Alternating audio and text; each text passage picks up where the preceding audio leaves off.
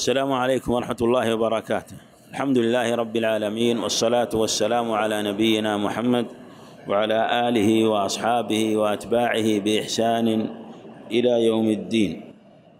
أما بعد سيكون بعون الله وتوفيقه هذا اللقاء في كتاب الأحاديث المختارة في العبادات والمعاملات والعقائد والأخلاق للعلامة عبد الرحمن بن ناصر بن سعدي رحمة الله علينا وعليه. توفى سنة 1376 للهجرة. وهذا الكتاب سبق ابتداء شرحه في سنوات مضت في هذا المسجد الحرام المبارك وكان الموقف عند قول المصنف رحمة الله عليه وعليه أبواب الشفعة والمساقات والمزارعة والإجارة وإحياء الموات. الشريعة برحمة الله سبحانه وتعالى جاءت بكل ما يصلح ويصلح الناس في أمور دينهم ودنياهم وما يعود عليهم بالسعة والرغد حتى يحققوا عبادة الله سبحانه وتعالى وأن يستعملوا ما وهبهم الله سبحانه وتعالى وأعطاهم إياه من أمور الدنيا عونا على طاعته. وبهذا تصلح أمورهم الخاصة والعامة وتطيب أحوالهم في حياتهم في مطعمهم وفي مشربهم حتى يؤدوا عبادة الله على الوجه الأكمل لأن العبد إذا أدى ما عليه وأدي له ما كان له فإنه يدخل في العبادة بنفس مطمئنة ونفس طيبة فلا يشغل نفسه عنها. فلهذا جاءت هذه الشريعة بالخير والسعة. قال الله عز وجل وما أرسلناك إلا رحمة للعالمين فرسالته عليه الصلاة والسلام رحمة لجميع العالمين لجميع الناس حتى غير المسلمين. فإنه رحمة لعموم الناس لكنها رحمة خاصة في الدنيا موصولة بالرحمة التي لأهل الإسلام في الآخرة فيرحمهم الله سبحانه وتعالى برحماته العظيمة التي يضاف إليها رحمته لهم في الدنيا. ومن ذلك ما أشار إليه المصنف رحمه الله وأشار إليه عامة أهل العلم في هذه الأبواب. خصوصا في أبواب المعاملات. قال رحمه الله عن جابر وهو ابن عبد الله بن عمرو بن حرام السلمي رضي الله عنه صحابي جليل شهد المشاهد مع النبي عليه الصلاة والسلام. وأبوه عبد الله بن عمرو بن حرام السلمي صحابي كبير جليل. قتل يوم أحد شهيدا رضي الله عنه وابنه جابر توفي سنة ثمان وسبعين وقد قارب المئة وهو من كبار الصحابة وعلمائهم روى حديثا كثيرا وعلما وفيرا رضي الله عنه وأرضاه. يقول جابر رضي الله عنه قال قضى رسول الله صلى الله عليه وسلم بالشفعة في كل ما لم يقسم. قضى بالشفعة في كل ما لم يقسم. هذه هي الشفعة التي قضى فيها النبي عليه الصلاة والسلام. فإذا وقعت الحدود وصرفت الطرق فلا شفعة. قضى رسول الله صلى الله عليه وسلم وقضاؤه واجب. والمعنى بالشفعة هي انتزاع الشريك حصة شريكه التي انتقلت التي كانت انتقلت إلى أجنبي بمثل الثمن المسمى. أنت لك شريك مع إنسان في أرض في بستان في بيت في أي شراكة. هو شريكك أنتما شريكان أو ثلاثة شركاء أو أكثر. فباع شريكك نصيبه من هذه الأرض نصيبه من هذا البيت نصيبه من هذا البستان. فإنك لك الحق أن تنتزع هذا الشقص وهذا الجزء الذي باعه شريكك. وإن كان تم مع غيرك. متى؟ إذا أردت أن تشفع. وش معنى الشفاعة؟ الشفاعة هو من الشفع والشفع هو ضم الشيء إلى الشيء الآخر. بعد أن كان فردا كان شفعا. فأنت نصيبك شيء واحد. فإذا قلت للبائع الذي هو شريكك في الأساس أنا أشفع. يعني أريد أن أضم هذا الجزء الذي بعته إلى نصيبي فيكون شفعا في حقك. في هذه الحالة فإنك تنتزع هذا الشخص وهذا الجزء الذي ذهب إلى أجنبي. يعني شخص آخر ليس شريكا لكما. وإن كان قد تم البيع مع غيرك مع غيرك. كما قال العلماء في معناها هي انتزاع الشريك. حصة شريكه التي كانت انتقلت إلى أجنبي بمثل الثمن المسمى. باع هذا الشخص بألف مئة ألف. بيع صحيح ليس فيه غدر أو ثمن ظاهر وثمن باطن. يكون بينهما مثلا ثمن باطن ألف ريال مثلا. ويقول أنا بعتها بعشرة آلاف. هذا هذه حيلة والحيل باطلة وكذب. فالمعنى لك أن تنتزع هذه الحصة إذا أردت ذلك. ولهذا قال قال العلماء بمثل الثمن المسمى. وعبارة النبي أكمل وأتم لكن العلماء يبسطون ليشرحوا مثل هذه الكلمات. في هذه الحالة لك أن تنتزع. لصريح قول النبي عليه الصلاة والسلام فإذا وقع فيما لم يقسم قضى بالشفعة فيما لم يقسم. إيش معنى ما لم يقسم؟ يعني لا زال نصيبك ونصيب نصيب شريكك شيئا واحدا لم يقسم.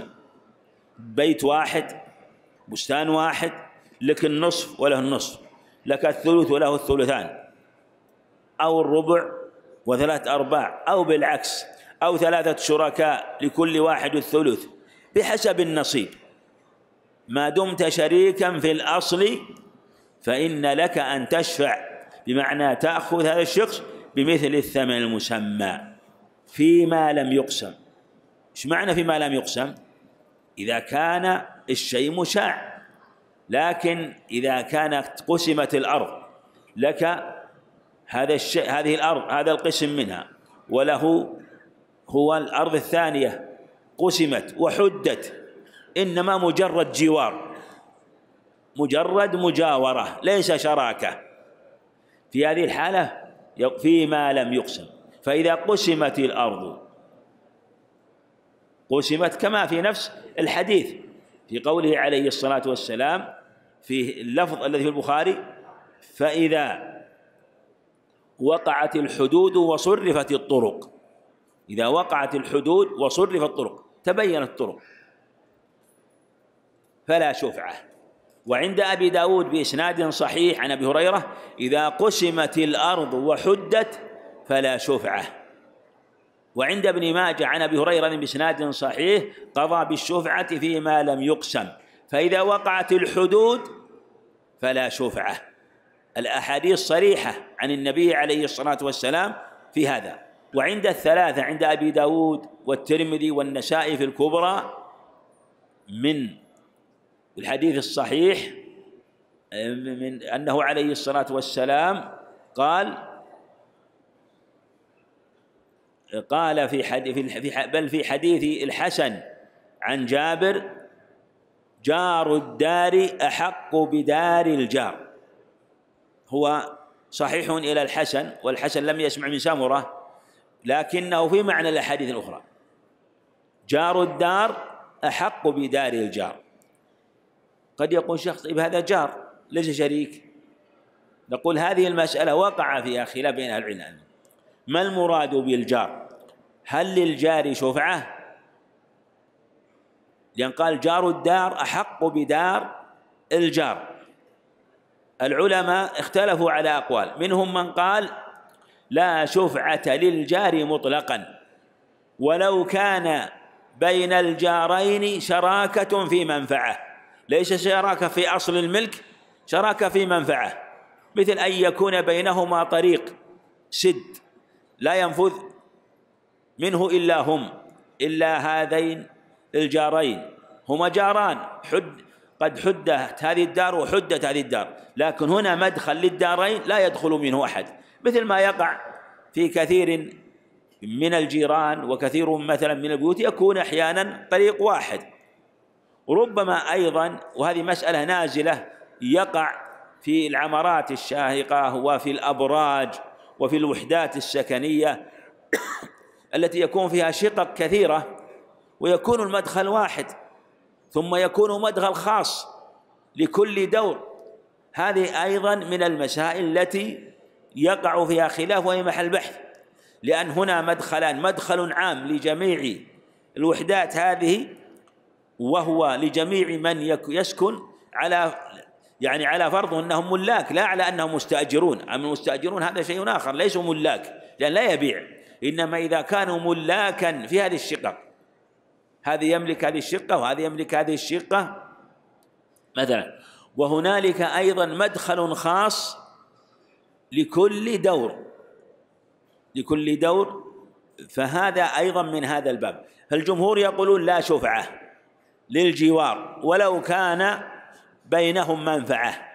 لو مثلا باع جارك مثلا هذه الوحدة وهذه الشقة مثلا ما تشفع. طيب يقول مدخلي ومدخل واحد. يطلع علي من الأمور ما لا يطلع عليه غيري. يراني حال الدخول ويرى أهلي وكل ما يدخل إلى داري مثلا أو كل ما يدخل داره في الغالب أنا أعلم الناس به. وأنا بيني وبين جاري هذا من صداقة وأهلي وأهله متواصلون. فيأتي إنسان أجنبي يشتريها. وجار جديد قد لا يناسب وقد أتأذى به. هل أشفع؟ هذه المسائل الموقع فيها خلاف فيما إذا كانت الجوار فيه منفعة كما تقدم لكن ليس اشتراكا في أصل الملك. ومن أهل العلم وهم الأحناف قالوا يثبت تثبت الشفعة في كل جوار. ولو كان جارين ليس بينهما منفعه يعني مثل ما يكون الجوار في البيوت وفي الفلل التي تكون طرقها مشرعة طريقا عاما. قالوا لأن الجار يطلع على من جاره ما لا يطلع عليه غيره. والنبي عليه الصلاة والسلام عليه الصلاة والسلام يقول جار الدار أحق بدار الجار. لكن الأظهر والله أعلم وهو الذي تدل عليه السنة أن الشفعة تكون في جوار خاص. ليس في كل جوار. ليس في كل جوار. بل في جوار خاص. وهو إذا كان بين الجارين منفعة خاصة. لهذه لهذين الجارين. أو هؤلاء المتجاورون. قد يكون قد يكونون أكثر من واحد مثلا من اثنين ومن ثلاثة. فلهذا إذا كان بينه منفعة خاصة فإن للجار أن يشفع على من اشترى بمثل الثمن المسمى. وهذا هو الصحيح وهو الذي يدل عليه المعنى في دفع الضرر عموما سواء كان ضرر شراكة أو ضرر جوار لكنه ليس أي جوار جوار خاص يترتب عليه ضرر. أما الشراكة فإنه تثبت بها الشفعة مطلقا فأعظم ما شرعت في الشفعة هو دفع ضرر الشراكة. لأن الشريكين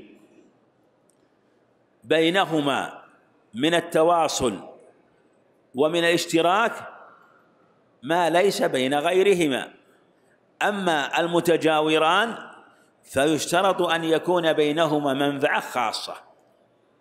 ولهذا قال عليه الصلاة والسلام في الحديث الصحيح في نفس حديث جابر رضي الله عنه الذي رواه أحمد وأبو داود والترمذي والنسائي في الكبرى وابن ماجه وكذلك أحمد كما تقدم بإسناد صحيح من رواية عبد الملك بن أبي سليمان العرزمي عن عطاء بن أبي رباح عن جابر بن عبد الله رضي الله عنه رضي الله عنهما أن النبي عليه الصلاة والسلام قال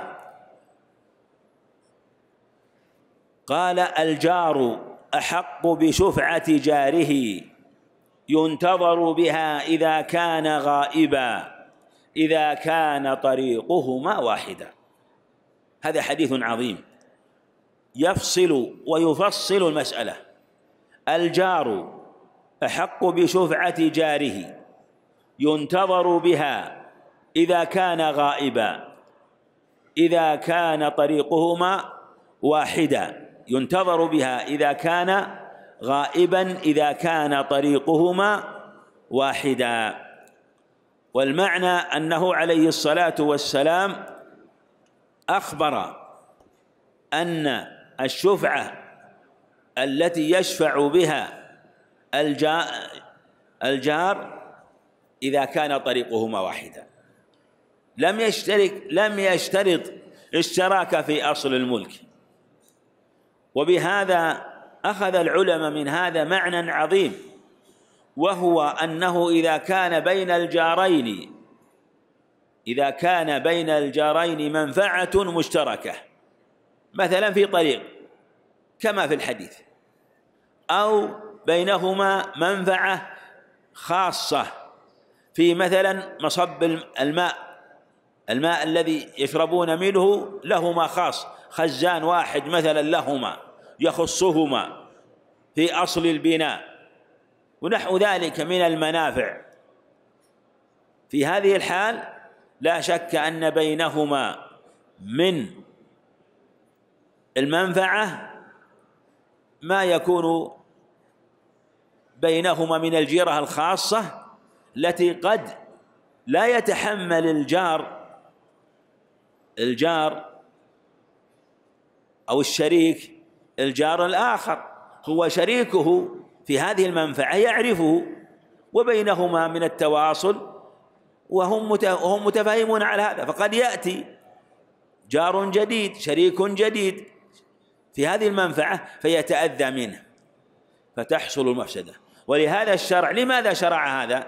حتى تحصل الألفة لأن مقاصد الشرع في أمور البيوع والمعاملات أن تبقى معاملات الناس في بيعهم على الألفة والمحبة. فليس مجرد بيع وشراء وليس مجرد تجارة لا. شرعت التجارة والبيع والشراء للتعارف والتآلف والبيعان. إذا بينا وصدق بورك لهما في بيعهما وإن كذبا وكتم محقت بركة بيعهما. وكم من بيع وكم من عقد ترتب عليه منافع كثيرة. من المعرفة والزيارة بل والمصاهرة بسبب بعض العقود في البياعات والمعاملات. فهذه المعاملات والبياعات في الشريعة الإسلامية لأجل أن تحقق الأصل العظيم في الألفة بين أهل الإسلام. واذكروا نعمة الله عليكم إذ كنتم أعداء فألف بين قلوبكم فأصبحتم بنعمته إخوانا وكنتم على شفا حفرة من النار فأنقذكم منها. كذلك يبين الله لكم آياته لعلكم تهتدون. فهذه أمور عظيمة. فأنت إذا رأيت عموم هذه المعاملات وهي ليست من أبواب العبادات في الأصل لكنها طريق إليها لتحقيقها. ولهذا كل ما أورث مثل هذا من الشقاق والنزاع منع. فلذا جعل للشريكين هذا الحق الخاص. فجاءت هذه النصوص صريحة في هذا. وهنا مسائل في مسائل الشفعة كثيرة عند أهل العلم لكن أيضا الشريعة جاء ما يدل على أن أمر الشفعة بين الشريكين. والشريك له الحق إذا باع. كما تقدم قضى بالشفعة فيما لم يقسم فإذا وقعت الحدود وصرفت الطرق فلا شفعة. وفي لفظ مسلم قضى بالشفعة فيما لم يقسم. لا يحل له أن يبيع. يقول عليه الصلاة والسلام لا يحل له أن يبيع. في لفظ مسلم ليبيع حتى يؤذن شريكه فإن شاء أخذ وإن شاء ترك. إن شاء أخذ وإن شاء ترك. فإن باع ولم يؤذنه فهو أحق به. الله أكبر. إن باع ولم يؤذنه فحق به. قضى بالشفعة فيما لم يقسم. لا يحل له أن يبيع حتى يؤذن شريكه. ثم بعد ذلك الأمر إليه قال عليه الصلاة والسلام إن شاء أخذ وإن شاء ترك. فإن باع أي الشريك باع نصيبه ولم يؤذنه فهو أي الشريك الذي لم يعلم أحق به. أحق به. أحق به من المشتري يعني بمثل الثمن. وهذا يبين أيضا أنه لو أعلمه قبل ذلك أنه لو أعلمه لو قال لجاره لشريكه مثلا أنا أريد أن أبيع نصيبي من الأرض التي بيني وبينك. أنا أريد أن أبيع. هل تريد أن تشتري؟ ما تم البيع حتى الآن لكنه يريد أن يعرضها الآن. يريد أن يعرضها يريد أن يعرض نصيبه من الأرض نصيبه من البيت نصيبه من البستان. مثلا قال لا حاجة لي فيه. هذا متى؟ قبل البيع. لا حاجة لي فيه. ثم باع لما باعه لما باعه جاء الشريك فقال أريد أن أشفع. وكان قد أعلمه في أول النهار أنه لا يريد. فلما جاء من آخر النهار قال أريد أن أشفع. الجمهور يقولون له حق الشفعة. وإن أسقط حقه. وإن أسقط حقه. جمهور علماء من الحنابلة والشافعية والمالكية والأحناف له أن يشفع. وفي رواية عن أحمد رحمه الله اختارها العلامة القيم رحمه الله قال لا شفعة له في هذه الحال. إذا كان قد أسقط حقه. الجمهور يقولون له أن يشفع لأنه أسقط ما لم يجب. أسقط حقه قبل وجوبه هو لا تجب له الشفعة إلا متى؟ إلا بعد العقد. لا تجب الشفعة قبل العقد إنما تجب بعد العقد. هذا هو قول الجمهور. قالوا له أن يشفع عليه. لأنه لأن حقه لم يجب. القول الثاني كما تقدم قالوا إن الرسول عليه الصلاة والسلام قال لا يحل أن يبيع حتى يؤذن شريكه. ظاهر الحديث ومفهوم مخالفته أنه إذا أعلمه قبل البيع قال أريد أن أبيع هل تشفع؟ قال لا أريد أن أشفع لا أريد. ظاهره أن له أن يبيع. ظاهره له أن يبيع. فباع في هذه الحالة إذا باع لا حق له. وهذا هو الأظهر وإن كان خلاف قول الجمهور لهذا الحديث. إلا بدليل بين واضح من الشريك يدل على أنه خفي عليه أمر مثلا من الأمور هذا محتمل. وهذه ربما تكون إلى اجتهاد الحاكم عند الخلاف والخصومة. من المسائل أيضا المشهورة في هذا الباب هل الشفعة في كل شيء؟ هي في العقار لا إشكال فيه لأنه قال فإذا حدت الأرض فإذا صرفت الطرق فإذا وقعت الحدود كل هذا في العقار في الأرض والبنيان وكذلك فيما هو تابع للعقار من الأشجار الأرض حين تكون بستان وفيها أشجار ونخيل ونحو ذلك هذا تابع له تابع للعقار فالشفعة فيها في العقار وما كان تابعا لهم. عند عامة أهل العلم وهذا في العقار بلا خلاف وكذلك أيضا فيما هو تابع له. هل تثبت الشفعة في المنقولات في السيارات في الأجهزة.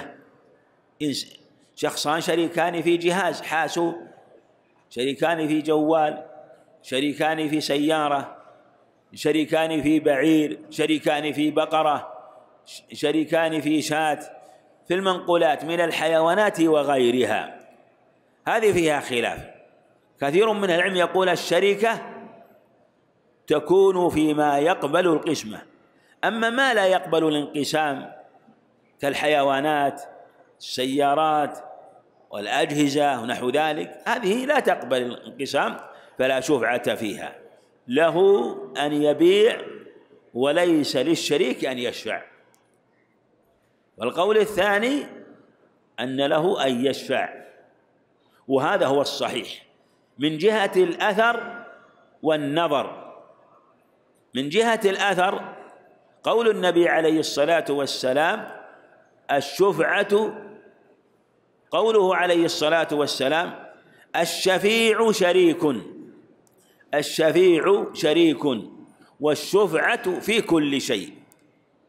رواه الترمذي رحمه الله أبو عيسى الترمذي في سننه من رواية أبي حمزة محمد بن ميمون السكري عن عبد العزيز بن رفيع عن عبد الله بن عبيد الله بن أبي مليكة عن ابن عباس رضي الله عنهما.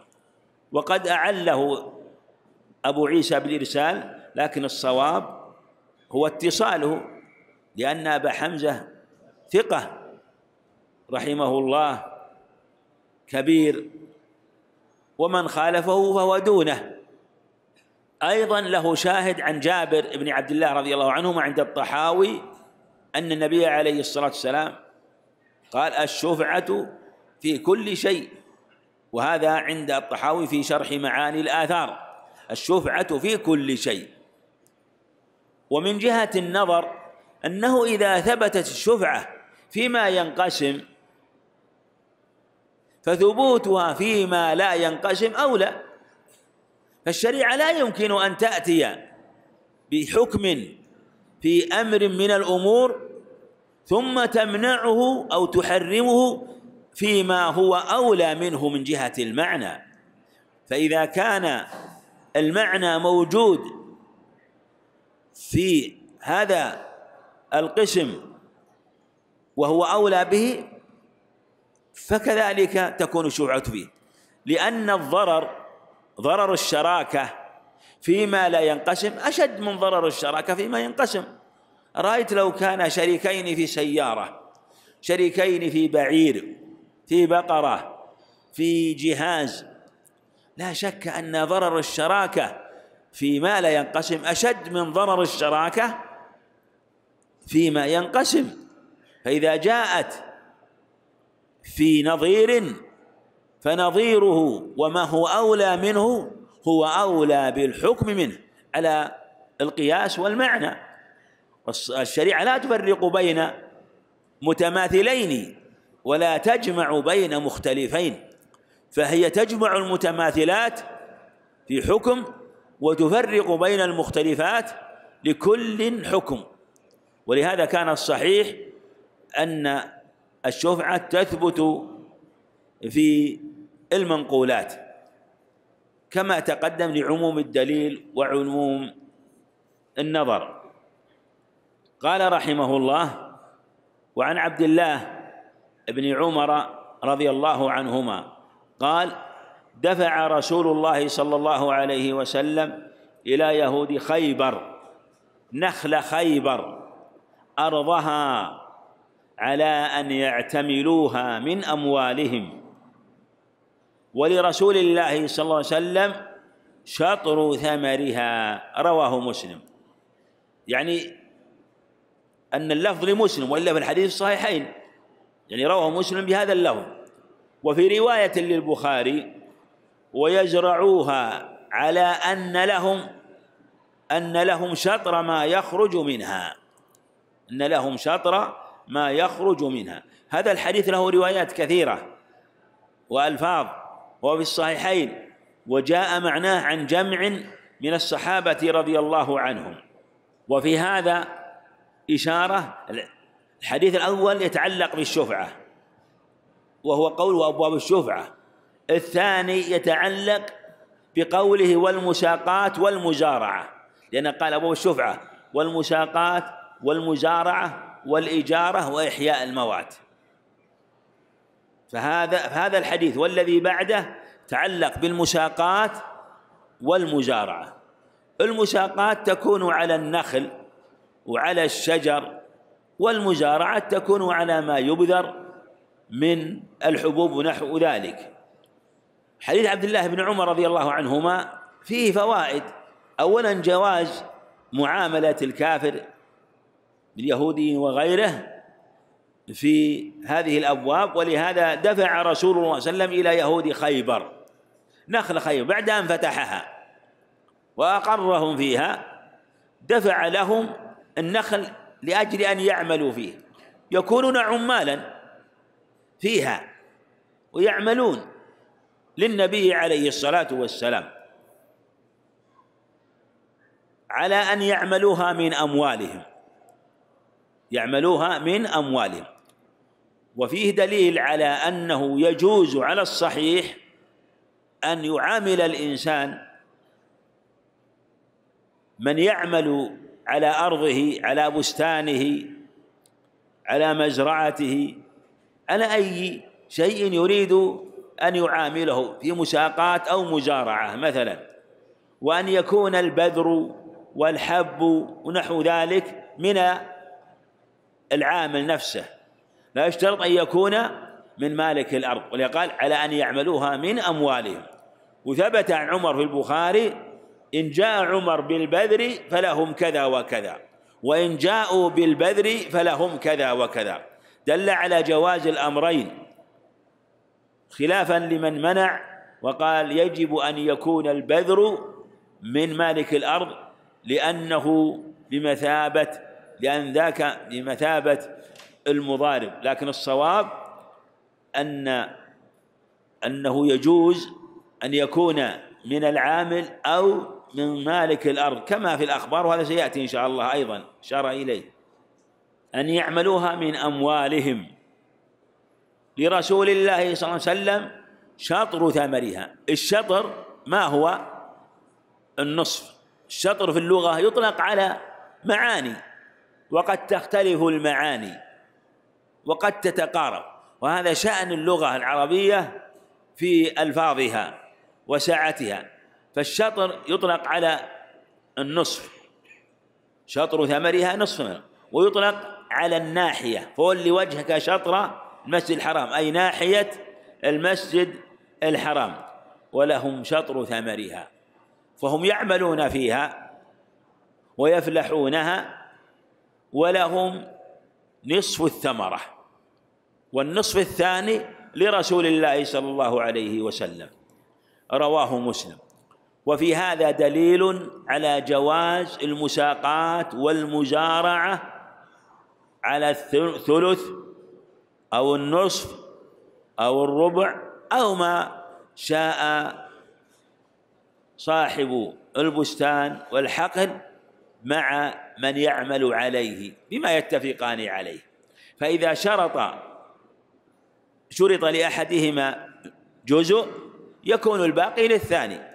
لا يشترط أن يذكر يقول لك كذا ولكذا إذا قال فلا ولك الثلث المعنى لي الثلثان. إذا قال لك الثلثان والمعنى له الثلث هكذا وهذا فيه دليل أيضا على جواز أن يساقي سواء في الشجر أو في الزرع بثلث الثمرة أو نصف الثمرة خلافا للجمهور.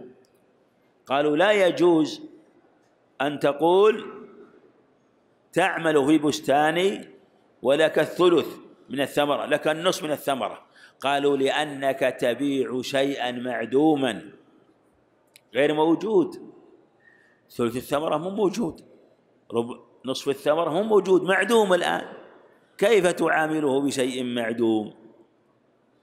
أيضا هو مجهول. ومن شرط الإجارة أن يكون معلوما الأجرة والصواب خلاف هذا. وأن المزارعة والمساقات ليست من باب الإيجارات هي من باب المشاركات. وهذا من سعة الشريعة في أبواب المعاملات. كيف يقال إنها إجارة وتحمل إجارة؟ والنبي عامل وجعل لهم شطر ما يخرج منها. هم أوردوا بعض الأدلة وبعض المعاني التي لا تصح. ولهذا الذي ذهب إليه الإمام أحمد رحمه الله كثير من العلماء من من أئمة الكبار في المذاهب في جميع المذاهب إلى جواز المساقات على الثلث أو النصف أو ما يتفقان عليه. لأحدهما والباقي للآخر. لأن هذا من باب المشاركات ليس من باب الإجارة التي يشترط فيها العلم بالأجرة. أنت حين تستأجر إنسان تستأجر سيارة تستأجر دابة على تستأجر شخص على عمل لابد أن تسمي له الإجرة. تقول لا تقول أعطيك مثلا آه، شيئا مبهما لا لابد من العلم. لكن هذا ليس من باب الإجارة من باب المشاركة لأنهما يشتركان في الربح والخسارة. ربما تنبت الأرض وربما لا تنبت قد لا يخرج منها شيء. قد لا يخرج منها شيء. فتكون الخسارة عليهما وقد تنتج إنتاجا عظيما. هذا من رحمة الله لأنه لا يعلم كيف تجعل له مثلا جزء معلوم وهو وأنت بعد ذلك قد لا تنبت شيئا. فتكون الخسارة عليك. أو تنبت شيئا عظيما فيكون الغبن عليه. يقول عملت له في هذا البستان فأنبت وحصل من الزرع ومن النخل الثمار عظيمة ومع ذلك يعطيني هذه الأجرة وهذا الشيء المقدر. هذا مما يثير الغيظ والحقد على النفوس. فسد الشارع هذه الأبواب وجعلهما يشتركان في الربح والخسارة. كسائر المضاربات حين تكون بينك وبين إنسان مضاربة من المضاربات يعني ما يسمى مثلا في البيع والشراء مثلا تخلي إنسان يعمل مثلا في سيارتك مثلا أو نحو ذلك أو تعطيه مال. تقول الإنسان هذه مئة ألف مئة ألف عشرة آلاف تعمل فيها تتاجر. تقول له المال منك والعمل من فلان. فلان يحسن العمل يحسن بعشرة. ولك من الأرباح خمسون في المئة. لك ستون في المئة. لك أربعون بما تتفقان عليه. في هذه الحالة يكون كل منكم عرف نصيبة. إن حصل ربح. مهما بلغ ومهما نقص. يكون قد دخل على بينة العامل. وأيضا صاحب المال دخل على بينة فلا يحصل بينهما شيء مما يغر الصدور والنفوس. فلو كان الربح كثيرا فلو كانت الربح كثيرا كانت نسبة العامل كثيرة ونسبة صاحب المال كذلك. فهذا ما يدل على ما جاءت به الشريعة في هذا الباب العظيم. ولسدت أبواب القمار أبواب الربا أبواب الغرر أبواب الجهالات وجعلت البيع والشراء على ما يكون فيه سلامة النفوس وطيب النفوس. فلهذا كانت هذه المعاملات من أبواب المشاركات. من أبواب المشاركات فيشتركان في الربح والخسارة. ولهذا عاملهم النبي عليه الصلاة والسلام على شطر ما يخرج منها. في لفظ البخاري أو يزرعوها على على أن لهم شطر ما يخرج منها. كما تقدم في لفظ مسلم. ثم ذكر رحمه الله حديث آخر في هذا الباب قال عن رافع بن خديج عبد الله بن عمر صحابي جليل توفي سنة 73 آخر سنة 73 أو أول سنة 74 أو أول سنة 74 للهجرة. حديث رافع رافع بن خديج هو الأنصاري الأوسي رضي الله عنه توفي سنة 74 للهجرة. قال كنا أكثر أهل المدينة حقلا. الأنصار كانوا أصحاب زرع وثمر وأهل مكة أصحاب الدرهم والدينار أصحاب التجارة.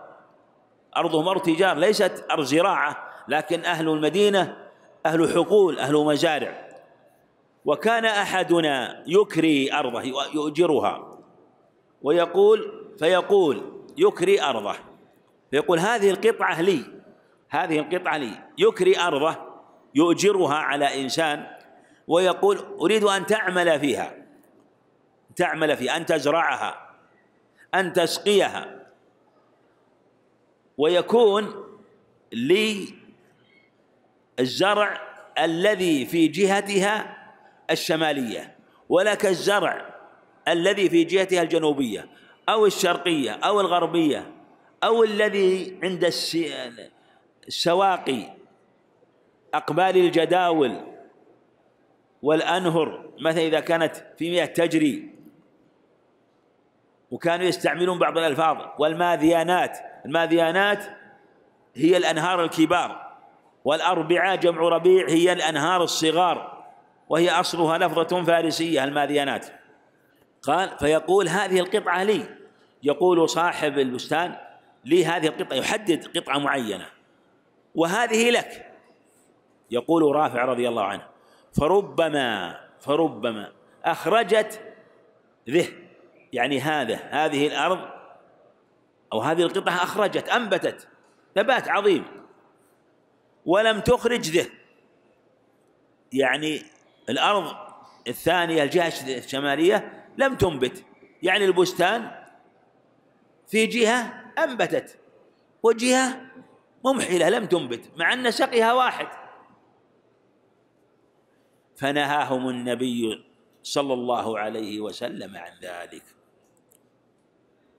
هذا الحديث ميزان عظيم في هذا الباب ويبين حقيقة الخلاف في هذه المسألة وهي مسألة المزارعة على الثلث والربع. حديث رافع رضي الله عنه له ألفاظ كثيرة لكن هذا اللفظ الذي في الصحيحين يفسر ويبين ويقضي على جميع الألفاظ لأن جاءت ألفاظ أخرى عن رافع رضي الله عنه توهم منع المزارعة والمساقات بالثلث والربع. وكأن الاختلاف ممن يروي عن رافع ولهذا قال الإمام أحمد حديث رافع ألوان حديث رافع ألوان يعني مختلف فيه اضطراب. يعني اضطرب الرواة فيه يعني من بعده. عنه رضي الله عنه. لكن صحيح فيه ما جاء في هذا اللفظ وهو قوله رضي الله عنه ربما أنبتت ذه ولم تنبت ذه والذي نهى عنه النبي عليه الصلاة والسلام هو تخصيص أرض معينة وهذا لا يجوز هذا قمار. فلو اتفق مثلا صاحب البستان مع العامل. فقال صاحب البستان أنا أزارعك على هذه الأرض تزرعها. أنا أساقيك على هذه الأرض فيها نخيل فيها شجر. فقال هذه الجهة من البستان ثمرها لي. وهذه الجهة من البستان ثمرها لك. يحددون حد. هل هذا عدل ولا ظلم؟ شو نقول ظلم. لأنه ربما تنبت هذه الأرض وهذه لا تنبت أو هذه لا تنبت وهذه تنبت سواء كان مزارعة أو كان مساقاة وهذا قمار. فلو أن الأرض التي للعامل ما أنبتت يكون ظلما لمن؟ للعامل. وربما لو أن الأرض التي لصاحب الأرض لم تنبت كان ظلما لصاحب الأرض. قد تنبت هذه وقد تنبت هذه. قد تنبت جميع الأرض. لكن الأمر فيه ماذا؟ مخاطرة. والمخاطرة لا تجوز في هذه الأبواب لا تجوز المخاطرة. ولأنه لماذا؟ لأن المخاطرة مثل القمار. صاحب البستان قلبه مضطرب لا يدري هل تنبت ولا ما تنبت. والآخر من أيضا مضطرب يخشى أن لا تنبت. مثل من يلعبون بالقمار كل منهم مضطرب. ما لا يدري هل يخسر أو يربح. ولهذا سد هذا الباب الذي يكون بابه من أبواب الغرر والخطر والمقامرة. ولذا قال رافع رضي الله عنه في مثل هذه الصورة أما بمال معلوم مضمون فلا بأس. يعني لا يجوز هذا.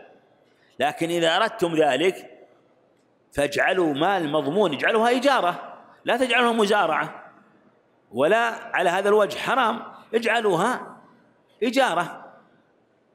يعني بمعنى أن تستأجره بهذا المال. لا بأس يكون إجارة. والمستأجر يستحق أجرته سواء أنبتت أو لم تنبت. إنما الذي لا يجوز كما قال الليث بن سعد رضي الله عنه هو أمر إذا علمه ذو البصيرة أو قال إذا رآه ذو البصيرة بالحلال والحرام علموا أنه لا يجوز. إذا رآه ذو البصيرة بالحلال والحرام علم أنه لا يجوز. صدق الليث بن سعد رحمه الله. إنه أمر لا يجوز. لماذا؟ لما أنه يدور على المخاطرة والغرر والقمار. فلهذا منع وحرم. وهذا هو الصواب وهو الوسط في هذه المسألة وهو الصحيح وهو جوازها على الثلث والربع لكن لا على وجه تخصيص أرض دون أرض أو نخل دون نخل أو شجر دون شجر. لما فيه من الغرر والمخاطرة. إنما المزارعة تكون عموما حتى تكون المشاركات ويشتركان في الربح والخسارة. ولا يحصل ضرر على أحد منهما دون الآخر.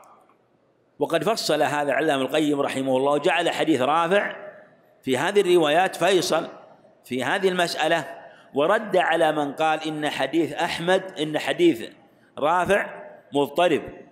وبين كلمة الإمام أحمد رحمه الله في قوله حديث رافع ألوان. لا شك أن حديث رافع ألوان فيه ألفاظ محتملة لكن في ألفاظ صريحة واضحة تبين الألفاظ الأخرى ومن هذا اللفظ. ولهذا العلامة السعدي رحمه الله اختار هذا اللفظ وهو بيان وفصل لجميع الروايات في هذا الباب.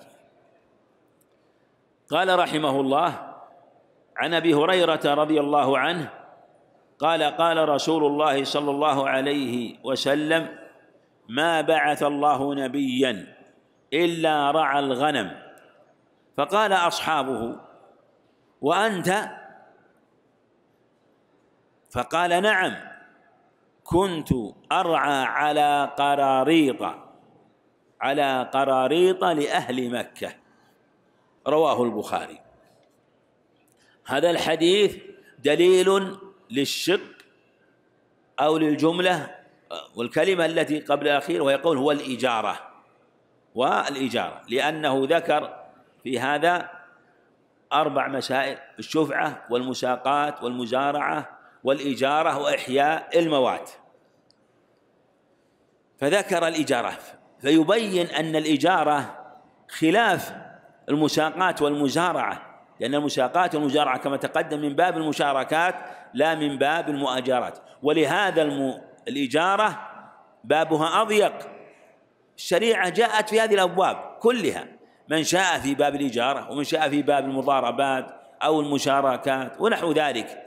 لأن الأصل في البيوع السعة والحل والإباحة لكن هنالك قيود ضوابط في هذا الباب لا بد من الالتزام بها حتى لا يحصل الغرر والمخاطرة والقمار. حديث أبي هريرة رضي الله عنه فيه أنه عليه الصلاة والسلام ذكر ما كان عليه بعد النبوة ذكر لهم بعد النبوة ما كان يعمله لأهل مكة فدل على حل الإجارة وهذا محل إجماع من أهل العلم.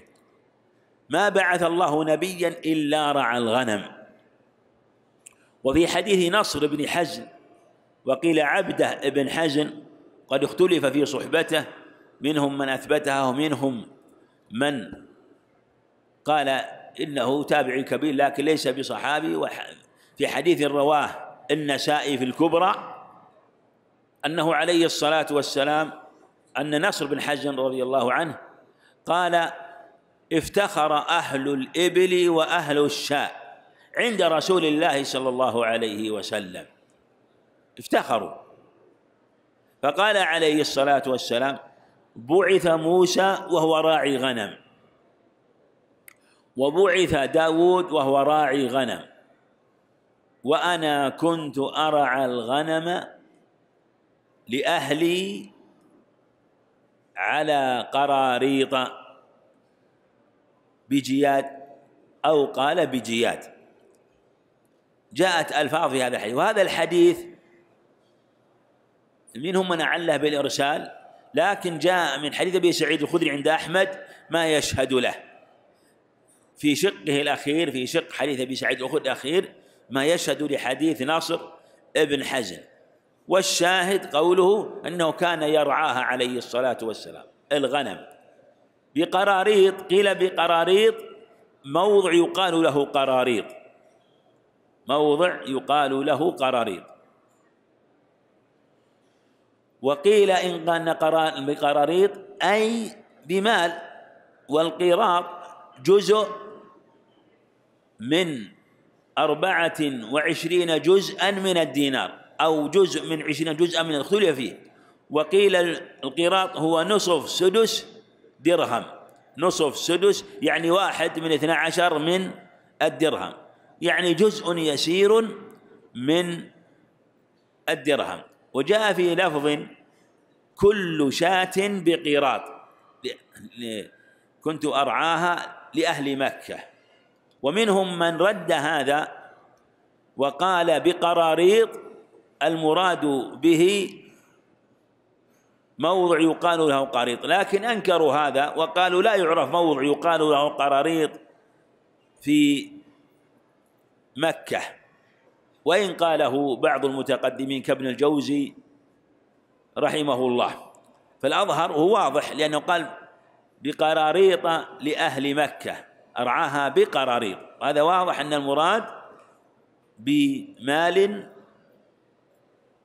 قدر المال قيراط على ما تقدم أنه لكل شاة. قال العلماء رحمة الله عليهم الحكمة من أن الأنبياء رعوا الغنم وأنهم كانوا يرعونها.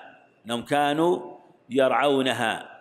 الحكمة أن الله سبحانه وتعالى أراد أن يهيئهم. أراد أن يهيئهم لما بعثوا له في تعليم الناس والصبر عليهم وتحمل طبائعهم واختلاف مشاربهم وتحمل المشقة في دعوتهم وأنهم يتهيئون قبل الدعوة على هذا. لأن الغنم على ضعفها. الغنم في ضعفها بتفرقها وتعرض السباع صغارها وكبارها لها وتفرقها. الغنم أكثر المواشي تفرقا وأنه في العادة لا تربط بل تتفرق فيشق جمعها. ويجتهد في البحث لها عن مرعى فهي ضعيفة بخلاف الإبل والبقر فيسهل جمعها وعند مبيتها قد تربط مثلا والغنم ليست كذلك فمعاناة الغنم أشد مشقة مع ما فيها من الضعف في مقابلة الإبل والبقر ففي تحمل رعاية في تحمل متابعتها ورعيها صبر عظيم على تحمل المشقة. فالأنبياء عليهم الصلاة والسلام حين يبعثون يكونون قد تهيأوا في معاملة الناس في مشاربهم اختلاف طبائعهم والصبر عليهم فلهذا الله سبحانه وتعالى كما ذكر النبي عليه الصلاة والسلام قال ومن نبي إلا وقد رعاها ما من ما بعث الله من نبي إلا رعى الغنم. ما بعث الله من نبي إلا رعى الغنم. وفيه أن النبي مأمور بأن يدعو والأدلة كثيرة لأن هناك من فرق بين النبي والرسول لكن الشاهد في قوله نبي وذكر نبي لأن الرسالة أخص فكل رسول نبي على أحد القول ليس كل نبي رسول. فذكر العموم ليدخل الخاص فيه. ما من نبي إلا قد رعى الغنم فقال أصحابه وأنت؟ قال نعم وأنا كنت أرعاها بقراريط لأهل مكة لأهل مكة. والشاهد من الخبر واضح في هذا الحديث عنه عليه الصلاة والسلام في قوله كنت أرعاها بقراريط على قراريط لأهل مكة. والإجارة محل اتفاق من أهل العلم محل اتفاق. والأجير أمين إذا كانت الإجارة على شيء يعمل عليه على شيء يعمل عليه. أمين. والأمين لا يضمن إلا بتفريط. فلا يضمن إلا بتفريط. فإذا مثلا حصل تلف بغير تفريط منه لما اؤتمن عليه فيده يد أمانة. وإن كان يأخذ على ذلك جعلا. وإن كان يأخذ على ذلك جعلا يعني مالا. من باب أولى إذا كانت أمانة محضة فالأمين قد يكون امينا محضا وهو الوديع الذي يأخذ الشيء لمصلحة المعطي وهو المودع. فهذا أمين محض ويده يد أمانة يقبل قوله. وهناك أمين هو شريك لمن ائتمنه مثل الشريك. إنسان شريك لإنسان في مال يعملان في هذا المال. وشريكه أوكل له هذا المال يعمل فيه.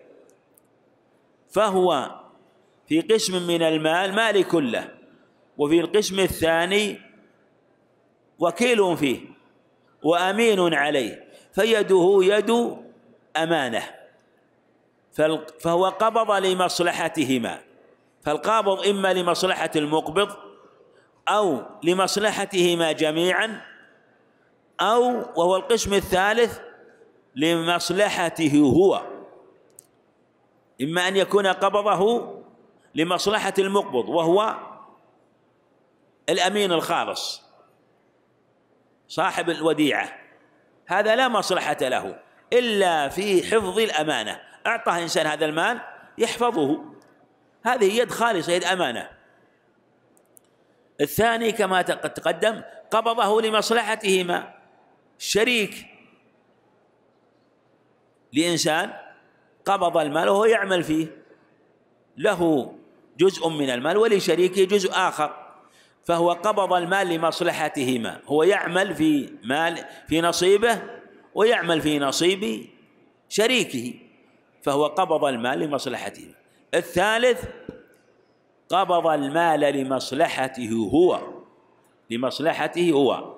لا لمصلحة المقبض المقبض. وهو المستعير. وهو المستعير أنت استعرت من إنسان كتاب. استعرت من إنسان سيارة. استعرت من إنسان دابة. أي شيء تستعيره. استعرت شيئا من متاع البيت. استعار الجار من جاره. شيء يحتاجه في بيته. فرش مثلا أو طبخ يحتاج استعار منه شيئا يطبخ فيه ونحو ذلك. أعاره. يد القابض القابض هذا قبض لمصلحته هو لا لمصلحة المقبض. هذه يد المستعير وهذه اليد أيضا يد أمانة على الصحيح خلافا للجمهور. والأجير كما تقدم كذلك. وكل هذا ما لم يكن هنالك تفريط ما لم يكن هناك تفريط. ولهذا لو تلفت العارية فإنه لا ضمان عليه إلا بتفريط إلا بتفريط أو بشرط بشرط أن يضمنه إي أن يضمنه. إذا شرط فالمسلمون على شروطهم.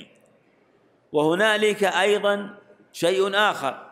لو تلفت التلف المعتاد بالاستعمال استعار منه مثلا بساطا استعار منه سيارة مع الاستعمال المعتاد الذي ليس فيه تعدي انسحلت الكفرات مع كثرة استعمال فقال له أنت أخذت السيارة مني وكفراتها نظيفة.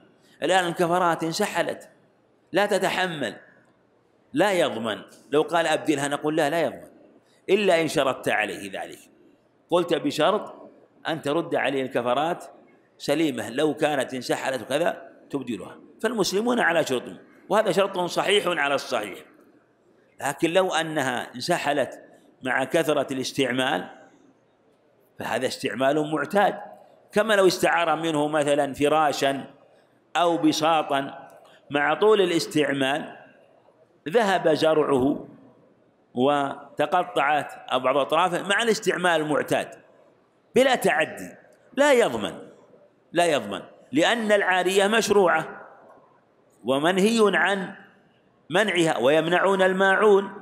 قال ابن مسعود رحمه رضي الله عنه ورحمه من الصحيح الصحيح هو منع القدر والدلو والحبل أو كما قال رضي الله عنه.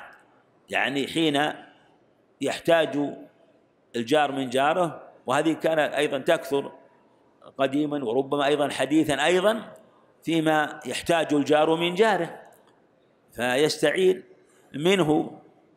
فلا تمنع وتجب على الصحيح حين يستغني عنها جاره.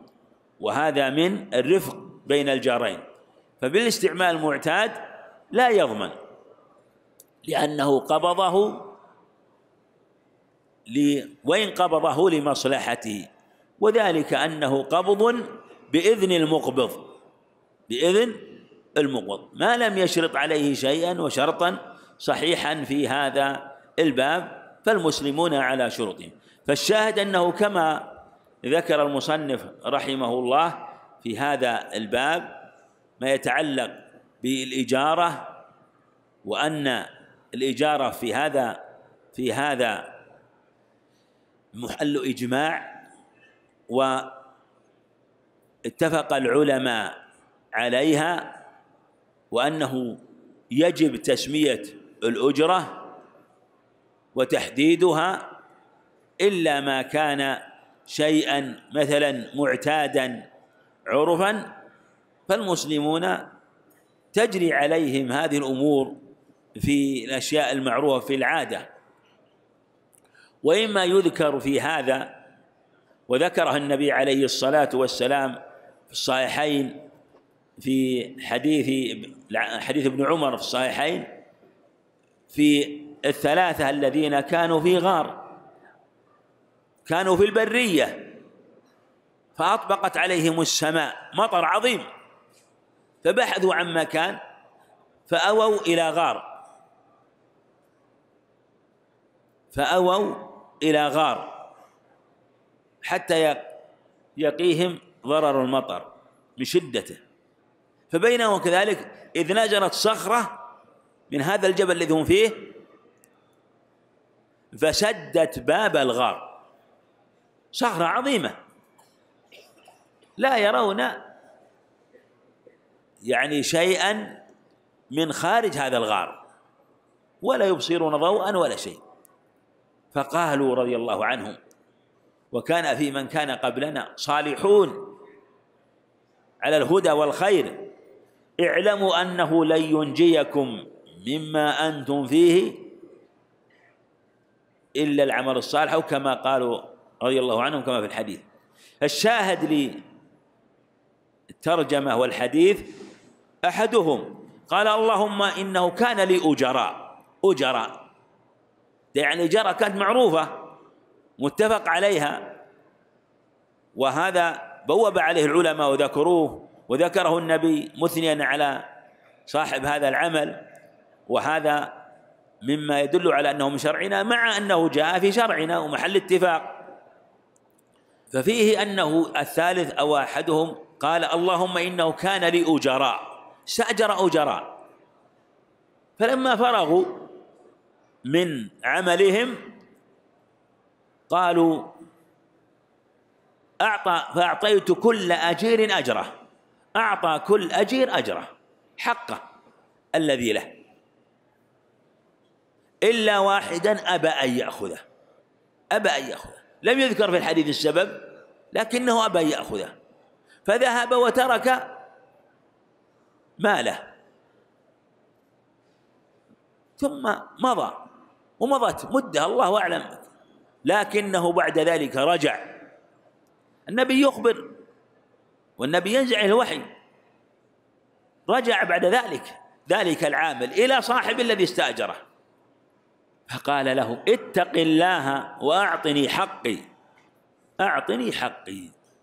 وكان أمامه واد من الإبل وواد من الغنم وواد من البقر وأموال عظيمة. قال صاحب بستان كل ما ترى فهو لك. كل ما ترى فهو لك. لأنه في الحديث قال ثم إني ثمرته له. جعل يعمل في ماله. الذي تركه ثمره له. جعل يعمل فيه. فأطرح الله البركة العظيمة في مال المستأجر وفي ماله عموما وفي مال من استأجره. حتى صارت أجرته أودية عظيمة من إبل وبقر وغنم. فقال كل ما تراه لك. فقلت لا تست فقال لا تستهزئ بي. يظن يستهزئ به. فقلت إني لا أستهزئ بك. فاستاقه كله ولم يترك منه شيئا. الله أكبر. فالشاهد أنه بين عليه الصلاة والسلام الأجرة وفضل الصدق والبركة في البيع والشراء والإجارة حين يصدق البيعان وجميع المتعاقدين وجميع المتعاقدين في هذه الأموال. ولهذا استدل العلماء بهذا الحديث على مسائل ورجحوا فيه بهذا الحديث مسائل وقع الخلاف بين العلماء فيها. منها عمل المؤجر في مال المستأجر هو تركه وعمل بدون إذنه لكنه عمل فيما يصلحه. والنبي ساقه مساق المدح ساقه مساق المدح. والعلماء يقولون إنما سيق مساق المدح. في هذا الباب فإنه يكون يكون من شرعنا ويكون حجة في المسائل التي وقع الخلاف بين العلماء فيها ومن هذه المسألة. والأحاديث في باب الإجارة كثيرة عنه عليه الصلاة والسلام ومنها أيضا عمل المسلم عمل المسلم ولو كان ذا مكانة عظيمة بالأجرة. روى الإمام أحمد رحمه الله أن عليا رضي الله عنه يعني أصابهم شدة في أول الأمر قبل فتح خيبر قبل أن يتسع الحال أصابهم شدة رضي الله عنهم. النبي عليه الصلاة والسلام هو الأسوة والقدوه في هذا فكانت الشدة عليه شديدة في هذا الباب والأحاديث في هذا كثيرة. كان علي رضي الله عنه يشتغل في البستان ويخرج الماء بالدلو. كل دلو بتمرة. كل دلو بتمرة. حتى أخرج سبعة عشر دلوا. فأخذ سب سبع عشرة تمرة. رضي الله عنه. وقال هذا يكفيني. ما راح يسأل راح يعمل. لأجل يحصل تمرة رضي الله عنه. عمل. ثم أخذها رضي الله عنه ومشى. فالإجارة محل اتفاق من أهل العلم والأدلة كثيرة عليها وجمع يدل عليها في كتاب الله سبحانه وتعالى وسنة رسوله عليه الصلاة والسلام وكما في هذا الخبر. ثم ذكر رحمه الله ما يتعلق بإح... نعم. بل حديث آخر يتعلق بالإجارة يتعلق بالإجارة. قال وعنه يعني عن أبي هريرة رضي الله عنه. قال قال رسول الله صلى الله عليه وسلم قال الله تعالى قال الله تعالى. هذا الحديث حديث قدسي. ثلاثة أنا خصمهم يوم القيامة. رجل أعطى بي ثم غدر. أعطى بي رجل أعطى بي ثم غدر. يعني عاهدني حلف بي أعطى العهود والمواثيق. أنه يفي مع أن الوفاء واجب مجرد ما يعاهد يفي لكن هو حلف أو عاهد وقال علي عهد الله. أعطى بي أعطى غيره. قال له أعطني كذا أو بيني وبينك كذا وعهد علي وعهد الله علي أنني أعطيك أنني أوفيك أو والله إني أوفيك سواء كان عهدا أو كان مؤكدا بالعهد أو باليمين كله من هذا الباب. ورجل باع حرا فأكل ثمنه ورجل استأجر أجيرا فاستوفى أجره فلم يعطه شيئا. قوله ورجل المعنى رجل أو امرأة. لكن لما كان الغالب في المعاملات تكون من الرجال ذكر على الغالب.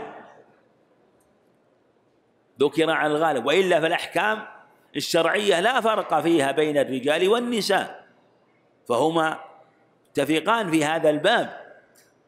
إنما قد يذكر الغالب. فلهذا قال ثلاثة أنا خصمهم يوم القيامة. ذكر الثلاثة لشدة ما فيه من الظلم وإلا هو سبحانه وتعالى خصم لكل ظالم سبحانه وتعالى لكن لشدة الأمر في هذا ولأن فيه معاهدة ولأن فيه جناية خاصة في التعدي مثلا في باب العبودية بأن يستعبد حرا أو بأن ينزل الحر منزلة المملوك بأن لا يعطيه أجره اشتد الأمر. ولهذا خصوا من بين أنواع الظلمة. ثلاثة أنا خصمهم يوم القيامة. جاء في لفظ آخر صحيح عند ابن خزيمة وغيره ومن كنت خصمه خصمته. ومن كنت خصمه لا شك. مخصوم هذا الذي يخاصم الله. فهو محروب ذليل مخصوم. كل من خاصم في هذا الباب فهو ذليل فهو محروب لشدة عداوته لما أمر الله به سبحانه وتعالى. قال ثلاثة أنا خصمهم يوم القيامة. لماذا يوم القيامة؟ لظهور الأمر. وإلا فقد يحصل ذلك في الدنيا وقد يستوفي المظلوم. لكن إذا أصر الظالم على ما ظلم به فإنه يظهر الأمر يوم القيامة. الملك له سبحانه وتعالى في الدنيا والآخرة لكن يظهر في الآخرة. لمن لمن الملك اليوم؟ لله الواحد القهار. لأنه انتهى الأمر. كل يقول نفسي نفسي. حتى الأنبياء والمرسلون عليهم الصلاة والسلام. انتهى الأمر. يفر الإنسان من أقرب الناس إليه من أمه وأبيه وصاحبته وأخيه لكل امرئ منهم يومئذ شأن يغنيه. انتهت الأمور. ليس هنالك وسطات ولا شفاعات ما ثم إلا الحسنات والسيئات. هذا هو الجواز الذي يجوز به العباد النار ويمرون به على الصراط. ثلاثة أنا خصمهم. يوم القيامة. في اللفظ الآخر كما تقدم ومن كنت خصمه خصمته. رجل أعطى بي ثم غدر. الغدر عاقبته وخيمة. عاقبته منكرة. وجاء في الحديث الصحيح أيضا في صفات المنافق. أربع من كن فيه كان أو كانت فيه خصم منهن كان منافق خالق من كان منافقا من كن فيه كان منافقا خالصا.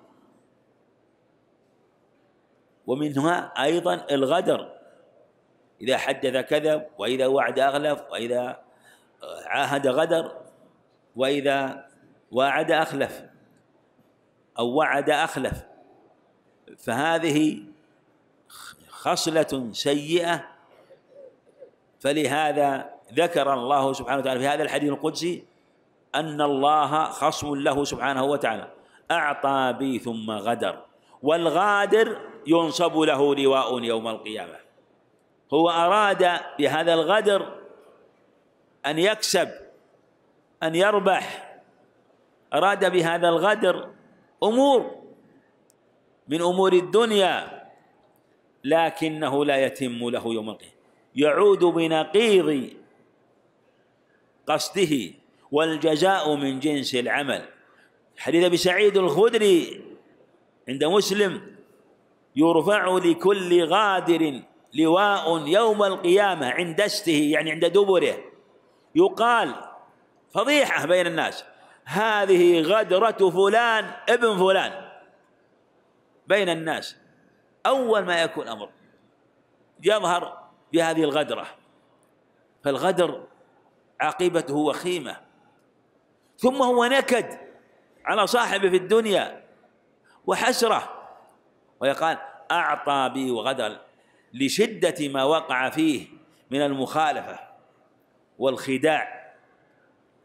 رجل أعطى بي ثم غدر. ورجل باع حرا فأكل ثمنه.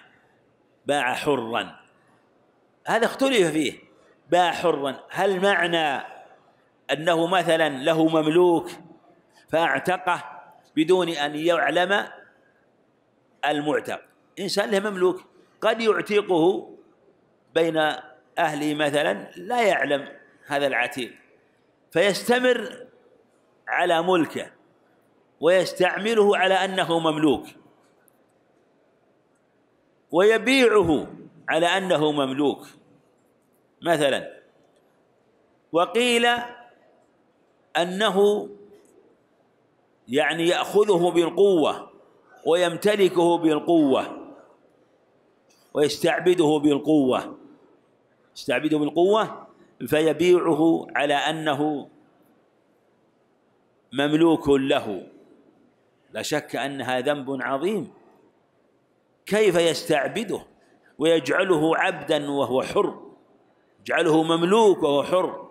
فرق لأن المملوك وإن كان أجره عظيم إذا أدى حق الله وحق مواليه.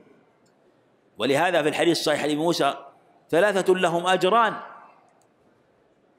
ثلاثة لهم أجران. رجل مملوك أو مملوك أدى حق الله وحق مواليه.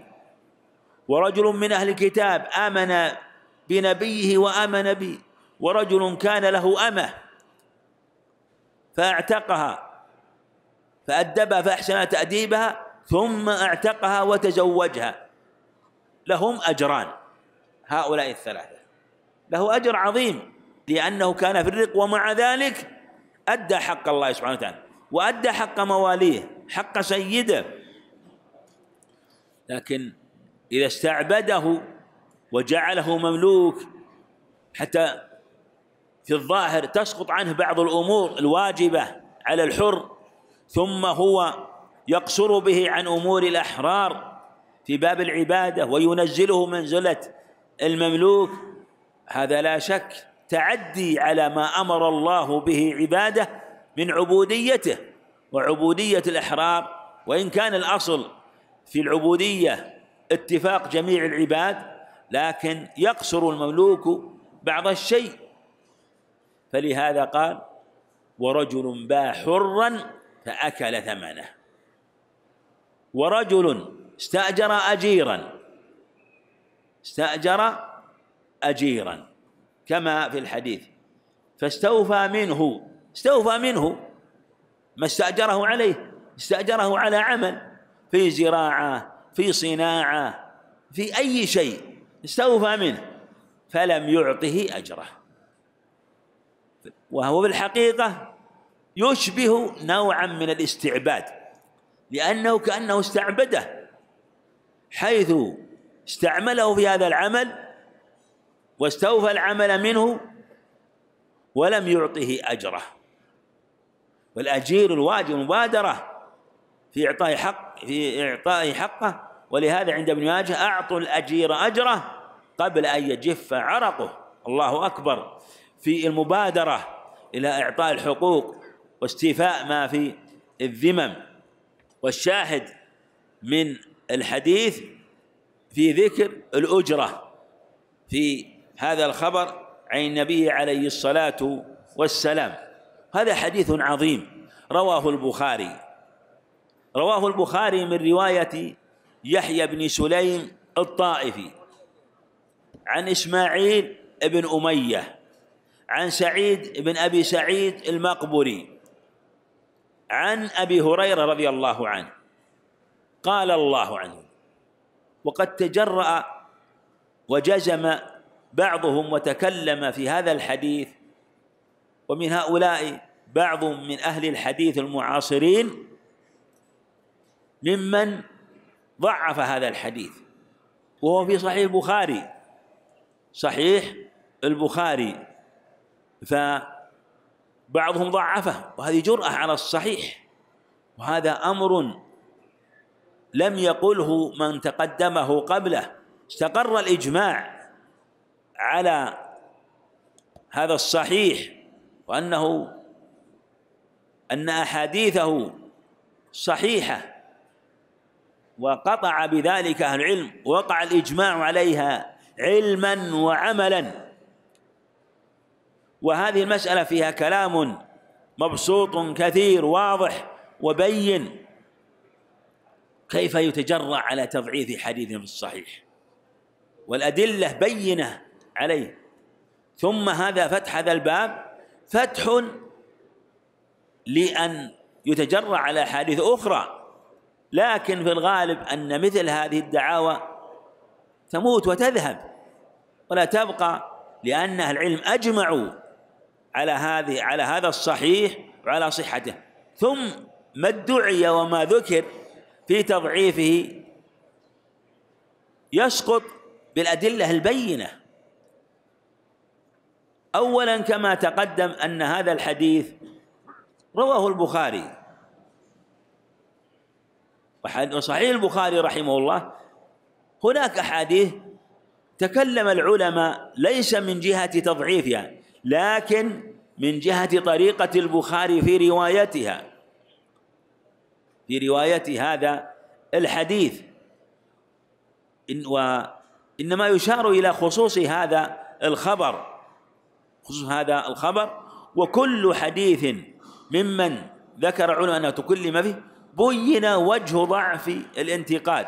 وكثير ممن انتقد لم ينتقده من جهة الضعف إنما حين يرويه البخاري مثلا لهذا الرجل ويكون الحديث عند البخاري نفسه من طريق آخر أو يكون لم يعتمده وله شواهد فكلها مجاب عليها. وخصوص هذا الحديث من رواية يحيى بن سليم فمن ضعفه قال إن يحيى بن سليم هذا سيء الحفظ ضعيف. سيء الحفظ ضعيف فيكون ضعيفا. وبالنظر في ترجمته يتبين أن الرجل إما ثقة كما قال الذهبي يعني النتيجة أو أنه صدوق. صدوق. وأن تضعيفه ليس على الإطلاق إنما ضعف في شيء خاص وهذا هو الصحيح. ولهذا جمهور العلماء من الحفاظ المتقدمين قووا أمره منهم من وثقه منهم من قال إنه صدوق منهم من قال إن كتابه جيد إنما قد يخطئ في شيء معين. ولهذا وثقه الإمام أحمد في رواية وروى عنه رحمه الله في حديث. وأيضا يعقوب بن سفيان رحمه الله قوى أمره كذلك يحيى بن معين والساجي وابن حبان وجماعة الحفاظ. إنما ضعفوه في روايته قالوا عن عبيد الله بن عمر. كما قال النسائي والإمام أحمد وجماعة لم يضعفوا مطلقا إنما ضعفوا روايته عن أحد الرواة وهو ثقة لكن روايته عنه ضعيفة. قالوا إن روايته عنه منكرة والبخاري لم يروي له عن هذا الرجل إنما روى له عن إسماعيل بن أمية عن إسماعيل بن أمية عن سعيد بن أبي سعيد عن أبي هريرة رضي الله عنه. فسلم الطريق الذي أخرجه البخاري. أيضا هذا قاله كثير من أهل العلم.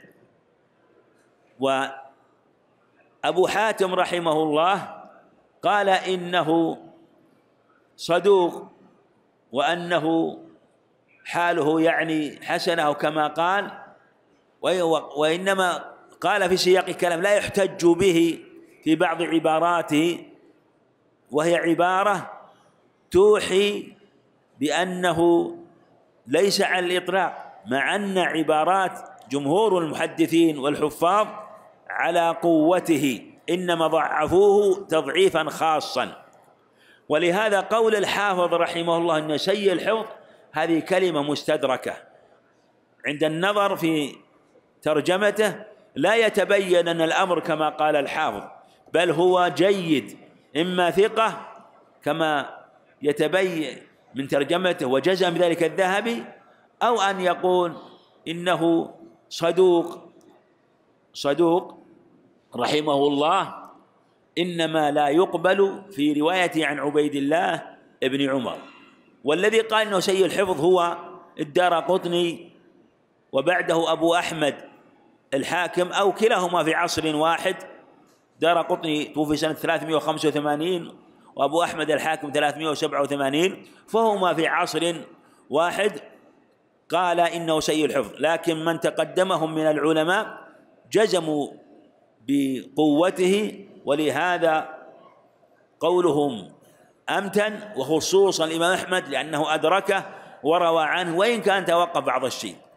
ولهذا الصواب قبول ما روى وأن روايته رواية جيدة وأنه لا يعل الحديث به يدل على ذلك أنه بتتبع رواياته رحمه الله الأخرى والطرق الأخرى التي يرويها في أحاديث كثيرة يرى أن أحاديث قد رواها الثقات قد رواها الأئمة وحديثه توافق رواية الثقات وكلام الأئمة رحمة الله عليهم من الرواة فلم يروي شيئا منكرا ولم ينفرد في غالب ما روى والأخبار التي ينفرد بها أو التي تضعف إنما روايات خاصة مستنكرة في بعض الرواة في بعض لا على سبيل الإطلاق.